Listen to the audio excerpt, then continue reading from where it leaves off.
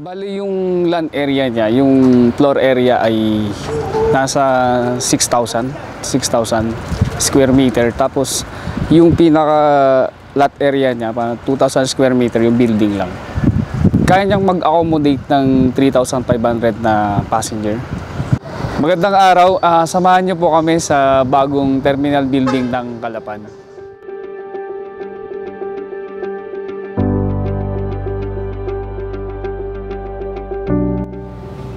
Bali yung floor area po niya ay nasa 6,000, 6,000 square meter.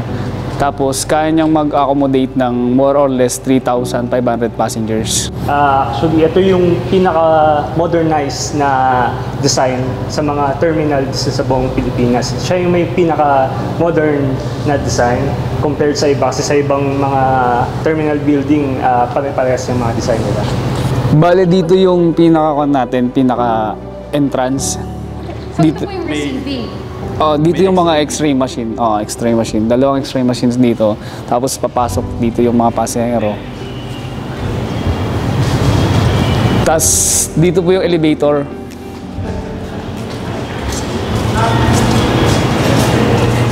Apat na elevator. Tapos dito na po yung mga mga upuan. Dalawang boarding gate yan, tapos dalawang boarding gate to. Bale, tatlong palapag po siya. Lahat.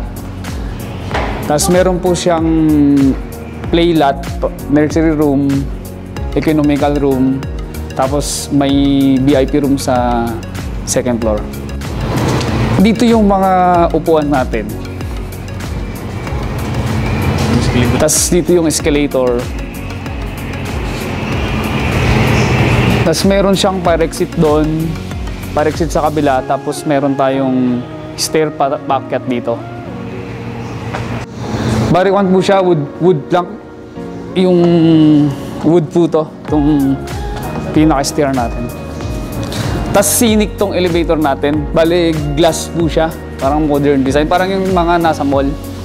Kitang kita, kita mo yung passenger, kita mo rin yung labas. Iba may mga kwan naman na tayo, experience sa Baguio. So, itong bagong building natin, natin naka-design na siya. Makakapal yung curtain wall natin. Tapos, may mga spider fittings na yung support niya. Tapos, itong pinaka-glass pins niya. Yung mga materials natin dito na ginamit ay stainless. Ah, lahat ah, hindi siya kinakalawang. Yung mga una sa step natin, akasya po siya. Akasya yung akasya yung ginamit. So durable po siya. Meron po tayong naka-design para dun sa mga stall. May mayroon tayong specific area sa second floor na depende po kasi siya dun sa operation na sa mag-ooperate kung ilang stall yung pero sa design kaya mag-accommodate ng mga 6 6 na stall. Bale naka one po siya na inaugurate ngayong March. So pero tatapusin po namin itong building mga February 15 tapos na.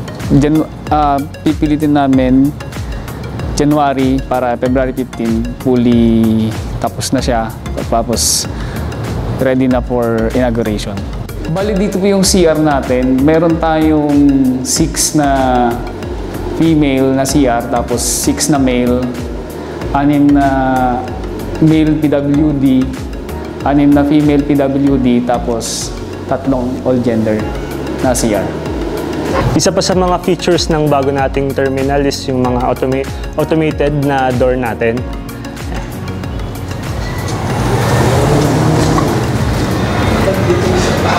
Pagpasok ng mga pasahero, pagkatapos sa security inspection, bubungad sa kanila yung mga elevator natin.